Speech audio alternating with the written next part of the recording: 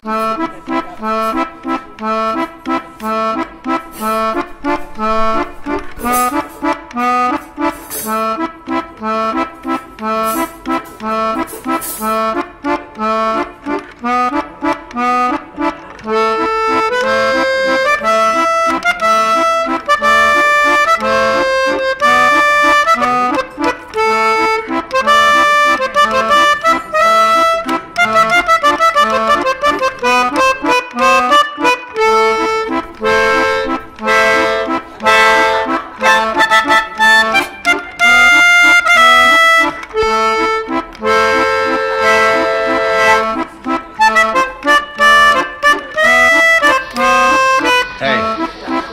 you.